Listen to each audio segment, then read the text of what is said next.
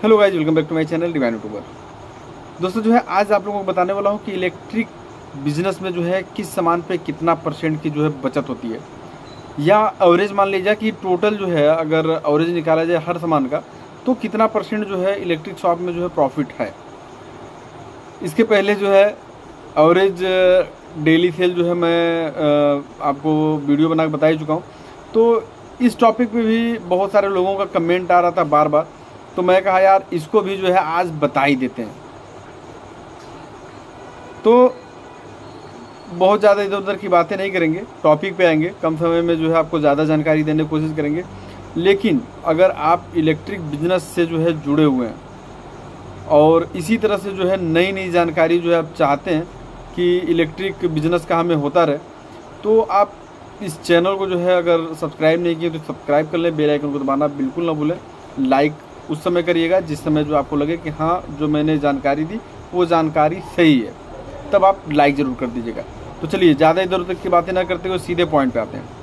तो दोस्तों, सबसे पहले जो है, अगर बात किया जाए इलेक्ट्रिक शॉप में जो है एवरेज प्रॉफिट की मार्जिन की तो सबसे पहली चीज़ कि हर सामान पे अलग अलग मार्जिन होता है। ठीक है? किसी सामान पे एक परसेंट भी बचता है, किसी सामान पे जो है दो परसेंट बचता है, किसी सामान पे चार परसेंट बचता है, किसी सामान पे पाँच परसेंट बचता है, और किसी सामान पे जो है पचास परसेंट भी बचता है, किसी सामान पे जो है सौ परसेंट भी बचता है। वो सामान के ऊपर डिपेंड है कि सामान किस टाइप का है। अगर आप, इलेक्ट्रिक बिज़नेस कर रहे होंगे मतलब अगर आपकी है जिनकी नहीं है, वो तो अभी नहीं समझ पाएँगे कि यार ऐसा कैसे हो सकता कि 100 परसेंट बच जाए 50 परसेंट बच जाए। ये सही है। कुछ का मैं उदाहरण भी दूँगा, नाम नहीं लूँगा लेकिन किसी चीज़ का कि किस सामान पे जो है कितना प्रॉफिट हो रहा है। एक अंदाज़ा जो है मतलब आपको गेस करने के लिए बताऊँगा, जिनकी शॉप है वो तो जो है समझ जाएँगे, जिनकी शॉप नहीं है वो लोग जो है जब आप शॉप करेंगे तो आपको समझ में आने लगेगा। नाम भी कुछ चीज़ों का ले सकते हैं ऐसा नहीं है जिनका जो है एकदम आम रेट होता है। तो उदाहरण के तौर पे सबसे ज़्यादा जो है जो अ, मतलब चीज़ बिक्री में आती है अगर देखा जाए जो डेली डेली बिक्री में आप एलईडी बल्ब का ले लीजिए। आप एलईडी बल्ब प्रेजेंट टाइम की खरीद की बात छोड़ दीजिए। पहले जो है, हम लोग खरीदते कितने में थे? साठ में। बेचते कितने में थे? अपने वहाँ की मैं बात बता रहा हूँ, सत्तर में। अब आप जोड़ लीजिए कि एलईडी पे आपको कितना परसेंट बचा। कम से कम मान के चलिए सत्रह से अट्ठारह परसेंट जो बचा एल एलईडी पे। अब देखने में तो दस ही रुपये लग रहा, लेकिन एक परसेंटेज अगर निकाल लें, आप कोई ऐसी भी जो है चीज़ आती है जो आप खरीदते हैं, दस रुपये का। लेकिन उसको बेचते हैं, दस से ग्यारह रुपये खरीदते हैं, बेचते हैं जो है अट्ठारह से बीस रुपये में। अब उसका जो है आप परसेंटेज निकाल लीजिए कि कितना परसेंट जो है आपका उस पर बना। कोई कोई सामान ऐसा है कि आप खरीदते हैं जो है सीधे पचास का बेचते हैं उसको सौ का। अब उस पर कितना बचत हुआ? सीधे जो है पचास परसेंट आ गया। लेकिन वो सामान के ऊपर डिपेंड है कि किस तरह का सामान है। और कुछ सामान ऐसा है कि दस रुपये खरीदते हैं तो उसको ग्यारह रुपये भी बेचना पड़ता है। अगर ग्यारह रुपये में भी बेचे तब भी परसेंटेज आपका ठीक ठाक आया। अब कैलकुलेटर लेके नहीं बैठा हूँ कि सारे का बताते जाऊँ ना ही कोई नोट में बनाया हूँ। जैसा कि हमेशा आपको बताते हैं कि मैं कोई भी जो है अ, ऐसा नहीं है कि अ, क्या बोलते हैं पूरा जो है मैटर तैयार किया जाए और उसके बाद से कागज़ में देख देख के जो आपको बताऊँ। ऐसा कुछ नहीं। जो रियल है। कुछ सामान आप सौ का खरीदते हैं, एक सौ दस में बेच देते हैं। दस परसेंट जो है उस पर मार्जिन हो गई सीधे। सौ का खरीदे, एक सौ दस में बेचे। कोई जो है नब्बे का खरीद के एक सौ बीस में बेच रहे हैं। अब उसका परसेंटेज आप निकाल ली कितना परसेंट हो गया? पच्चीस से तीस परसेंट तो अगर सबका एवरेज अगर निकाला जाए हर आइटम का एवरेज निकाला जाए।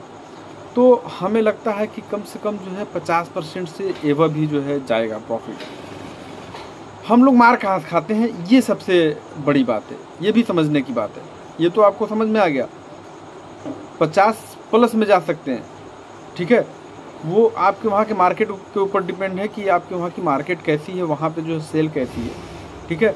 बहुत ज़्यादा कंपटीशन है तो हो सकता है पचास परसेंट बचा पाए। और बहुत कंपटीशन नहीं है तो बहुत सारे हमारे भाई कमेंट करते हैं। तो उनके हिसाब से हमें लगता है कि सौ डेढ़ सौ परसेंट भी जो है वो बचा लेते होंगे। अब जो लोग इस टाइप के हैं कमेंट करके ज़रूर बताएँ। जहाँ पे जो है बहुत कंपटीशन है तो वहाँ गिरे हालत में भी पचास परसेंट कहीं नहीं गया, अगर सारे का निकालेंगे तो। किसी का दस परसेंट किसी का एक परसेंट किसी का दो परसेंट किसी का जो पाँच परसेंट किसी का तीस परसेंट अगर सब एवरेज निकालेंगे। हम लोग को की जो प्रॉफिट है वो मारी कहाँ जाती है? अब ये जो है समझने की बात है। हमारे एक भाई ने जो है अभी कमेंट किया, उनका नाम मुझे याद नहीं है। इसी वीडियो में बता देना चाहता हूँ कि बोल रहे हैं कि एक साल हो गया दुकान खोले हुए। सेल बहुत कम है तो सेल तो भाई सबकी कम है। इस समय मार्केट जो ठंडा ही चल रहा, सेल उठेगी जो है, मान के चलिए, नवरात्र से आपकी जो है बिज़नेस उठेगा। रेंट उनका जो है पचपन सौ रुपया है। उसके बाद से बोल रहे हैं कि लोग आते हैं, उधार लेके चले जाते हैं। मतलब आते हैं, उधार लेके जाते हैं, पैसा भी नहीं देते हैं और फिर आते भी नहीं हैं। दुकानदार यहीं जाके मार खा जाता है। अब जो उसका पचास परसेंट प्रॉफिट था, उसमें से तीस परसेंट जो उधार वाले लेके निकल लिए।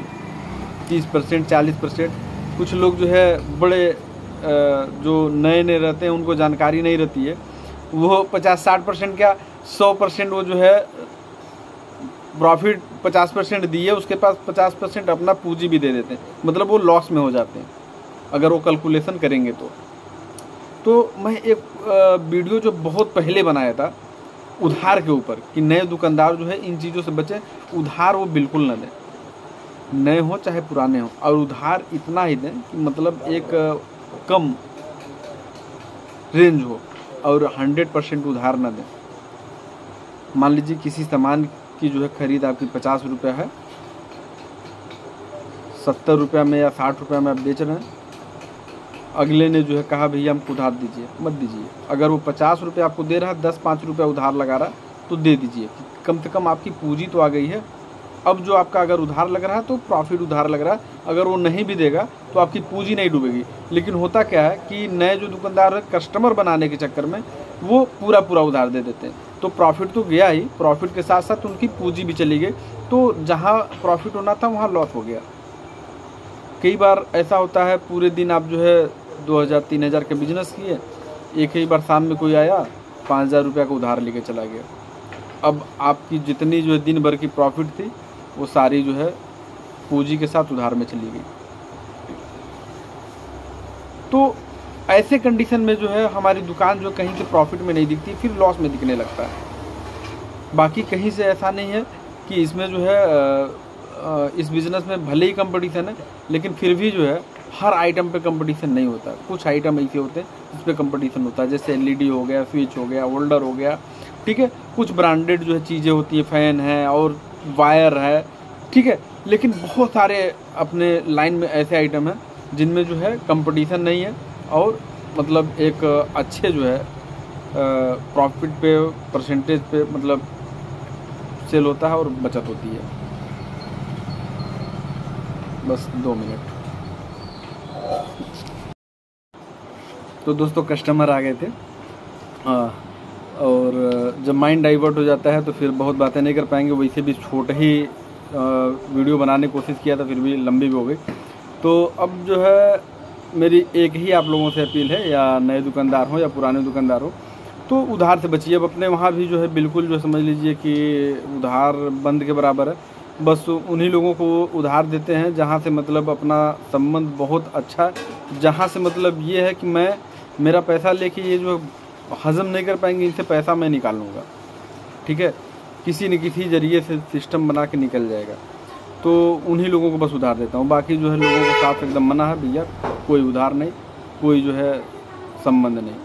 पैसा है, सामान लीजिए, पैसा नहीं है, मत लीजिए, कोई दिक्कत नहीं है। अगर आपको बुरा लगता है, कहीं दूसरे जगह से लीजिए।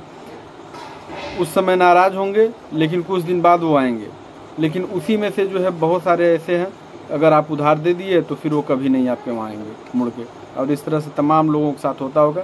कमेंट आप सभी लोग जो है, हर टॉपिक पे जो है, करके ज़रूर बताए यार, कमेंट करने में जाता क्या यार गुड नाइस ये सब भी तो लिख सकते हैं। अगर बहुत लंबा नहीं लिखना चाहते हैं, कमेंट किया करिए। और लाइक भी होना चाहिए, क्योंकि जब लाइक वगैरह आप लोगों का रहता है तो मुझे भी लगता है यार कि लोग, लोगों की मेरी बातें समझ में आ रही अच्छी लग रही हैं।